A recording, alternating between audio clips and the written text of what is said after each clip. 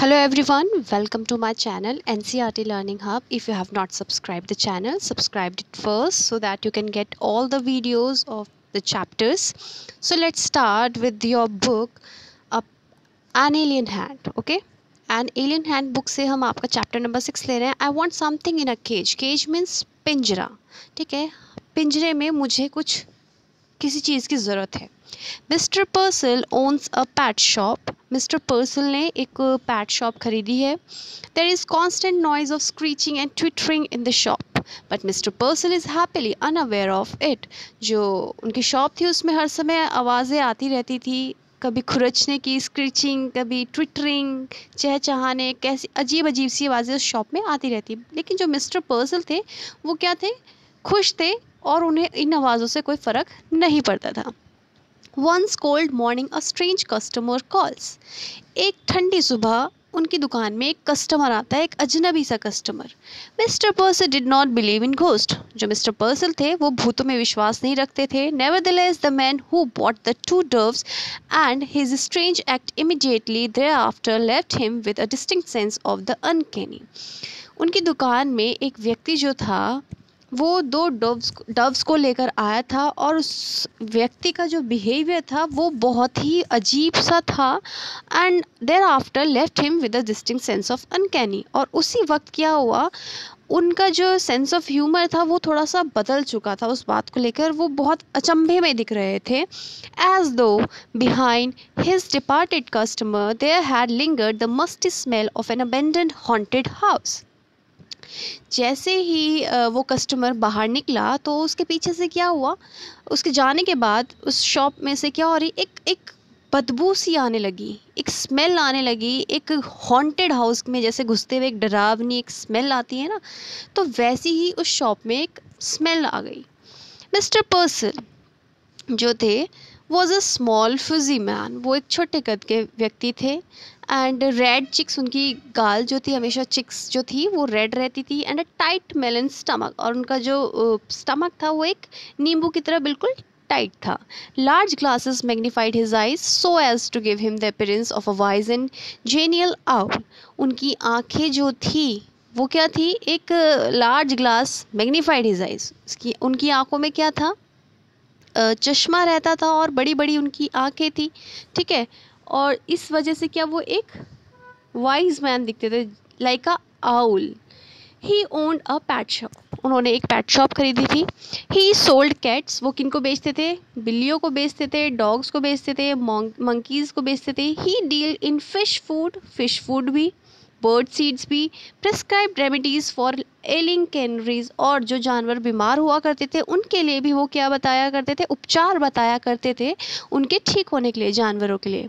And displayed on his shelves long rows of ornate and gilded cages और उनकी shop में जो थी, उनकी शेल्स पर बड़े बड़ी रोज़ थी और वहाँ पर क्या?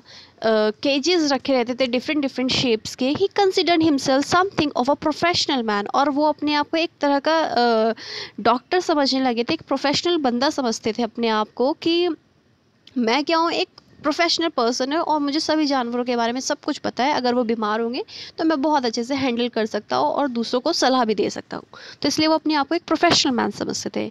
A constant stir of movement pervaded his shop, whispered twitters, rustling, squeals, chips, and sudden squeaks.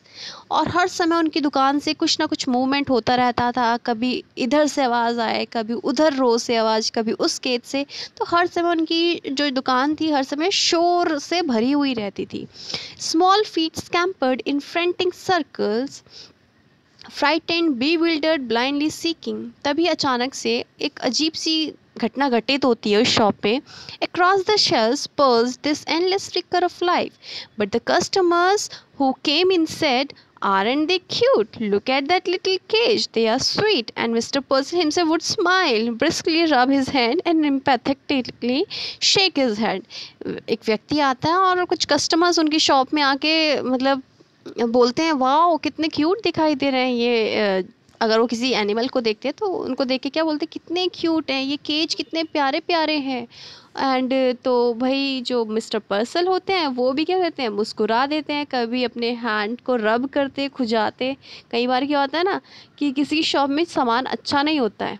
और कोई जानबूझकर आके उनकी शॉप में ऐसा बोल दे कि, भाई, आपकी शॉप में वाओ कितना सुंदर है ये चीज़। और जो शॉपकीपर है, उसे तो पता ही है कि ये चीज़ बेकार है, लेकिन इस व्यक्ति को कैसे अच्छी दिखाई दे रही है? तो ऐसे उनके साथ होता मिस्टर पर्सल के साथ। तो अपना हाँ चुपचाप से उनकी हाँ में हाँ मिला के अपना सर हिलाते shake his head empathetically each morning when the routine of opening his shop हर सुबह रूटीन क्या होता था? शॉप खोलने का हुआ करता था वॉज़ कम्प्लीटेड मतलब उन्होंने शॉप खोल दी थी it was the proprietor's custom to perch on a high stool behind the counter untold his unfold his morning paper अपना टेबल वो खिसकाते जहाँ कस्टमर वाला एरिया होता है और वहाँ पर बैठ के अपना न्यूज़पेपर खोलते और सारी न्यूज़ क्या कर जाते digest the day's news means पूरी का पूरा पेपर एकदम पढ़ जा पढ़ लेते थे वो as he read he would smoke frown reflectively purse his lips, knowingly lift his eyebrows, nod in grave agreement. तो भाई जब वो न्यूज़ पढ़ते तो वो पूरे के पूरे पेपर को पूरा डाइजेस्ट कर लेते थे और वहाँ पर बैठ कर क्या करते?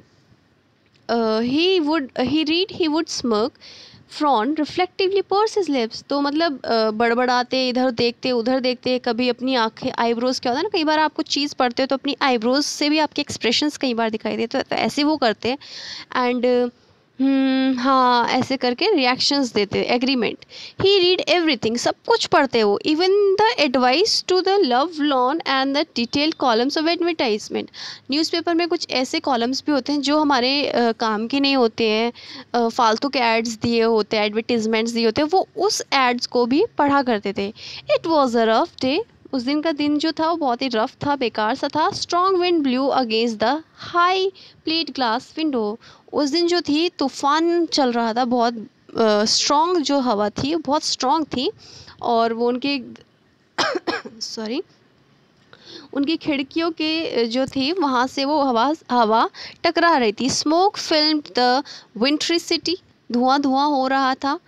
And the air was grey with a thick frost. Having completed his usual task, Mr. Purcell again mounted the high stool and unfolded his newspaper. तो क्या हुआ फिर से वो वही रूटीन उनका हवा चल रही है आ, हवा जो है वो ग्रे कलर की है, धुआँ हो रहा है उसमें हैविंग कंप्लीट और जो अपना डेली का रूटीन उनका होता काम शॉप में, वो उसको कंप्लीट करने के बाद वापस वो क्या करते ही? पर्च ऑन द स्टूल वो उस पर बैठते स्टूल पर और फिर से वापस अपना न्यूज़पेपर खोलते उसको फिर से पढ़ना स्टार्ट करते ही। एडजस्टेड हिज ग्लासेस उन्होंने अपने चश्मे को एडजस्ट किया and glanced at the day's headlines फिर से क्या करने लगे? न्यूज़ हेडलाइंस पढ़ने लगे। चर्पिंग एंड स्क्रीकिंग चिड़ियाओं की आवाज़ चहचहाने की, आवाज़ आने लगी कहीं से बिल्ली की, कहीं से डॉगे की। तो पूरी जगह से आवाज़, ही आवाज़ हो रही थी। Yet mister Purcell heard it no more than he would have heard the monotonous ticking of a family clock भाई, उनके लिए तो ये रोज़ की हैबिट हो चुकी थी, ये आवाज़ें तो उनके लिए आम हो चुकी थी, जैसे एक हलवाई की शॉप में क्या होता है।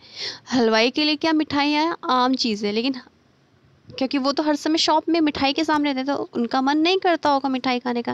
लेकिन एक नॉर्मल पर्सन जाएगा तो उसके लिए तो मिठाई क्या है? वो तो कभी कभी खा रहा है, लेकिन हलवाई हर समय मीठे के सामने बैठा है तो उसका मन नहीं करता है। ऐसे ही जो मिस्टर पर्सल थे, वो चौबीस घंटे कहाँ शोर शराबे में बैठे थे, उन्हें कोई फ़र्क नहीं पड़ता था। उन्हें इवन घड़ी की टिक टिक की आवाज़ भी नहीं सुनाई देती there was a bell over the door that jingled whenever a customer entered जब भी उनके शॉप के दरवाज़े पर कोई भी पर्सन आता तो उस दरवाजे पे से एक आवाज़ आती, बेल की आवाज़ आती, जिससे पता चल जाता कि कोई कस्टमर अंदर आ रहा है। This morning however for the first time mister Purcell could recall it fail to ring इस बार क्या हुआ? उनकी दुकान में कोई एंटर हुआ, लेकिन इस बार मिस्टर पर्सल को पता ही नहीं चला, वो फेल हो गए पहचानने में कोई अंदर दुकान में आया है। सिंपली ही ग्लैंस उन्होंने देखा up and there was the stranger उन्होंने देखा जब तो उनके सामने एक अजनबी व्यक्ति खड़ा हुआ था standing just inside the door जो कि दरवाजे के अंदर खड़ा हुआ था as if he had materialise out of thin air जैसे कि हवा के थ्रू वो अंदर आ गया हो। The storekeeper slid off his stool उन्होंने क्या किया मिस्टर पर्सन ने स्टोर कीपर ने क्या किया, उन्होंने stool खिसकाया from the first instant he knew instinctively पहली झलक में उन्हें समझ में आ रहा था, कुछ तो कुछ चीज़ है unreasonably that the man hated him उन्हें समझ आ गया था मिस्टर पर्सल को, कि ये जो व्यक्ति है, ये मुझसे नफ़रत करता है। पहली झलक में मिस्टर पर्सल ने पहचान लिया था।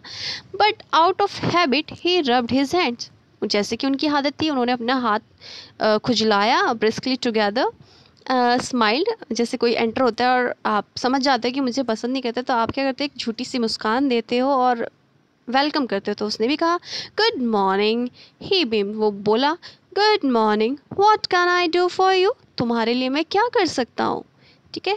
So this is the first part. Uh, i hope you have understood. You can find the answers of these questions in the next video. We will read the next part. Subscribe the channel to get all the videos. Bye bye take care.